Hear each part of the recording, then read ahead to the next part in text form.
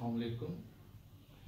Uh, today I'll do one question regarding SAT 2 level 2 exam. In this question, he has given us the statement.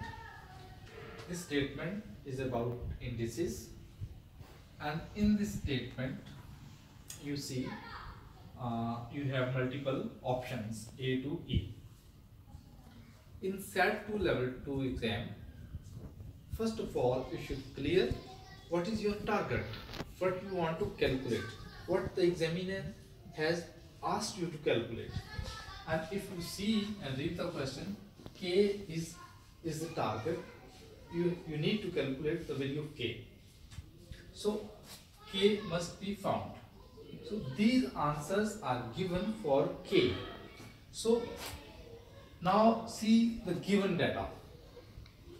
This is the given data. If you see them carefully, you see that all these terms has been collected and then expressed in terms of x raised k. So how do we proceed for this question? Very easy way. Look, x is x raised a time x a plus 1 time a time x a time 1 minus a.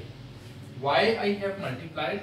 Because you see if any expression has power of power we always multiply them. So I multiply them. Now if they are in multiplication form we can add their powers basically. So a plus a plus 1 time a plus a time 1 minus a. So a plus a square plus a plus a minus a square. And further simplification gives us x is equal to 3a and this is equal to x is equal to k. And now on both sides bases are same. So if the bases are same they can be cancelled.